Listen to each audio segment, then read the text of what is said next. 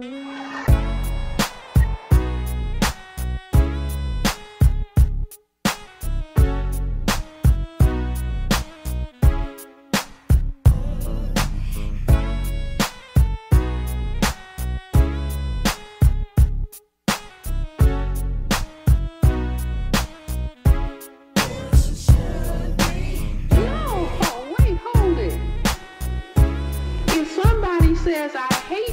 say thank you very much for telling me I know what to expect.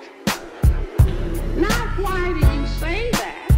Because you got enough love and respect for your black self that you're not begging for somebody else to like you, approve of you, and validate you. So we need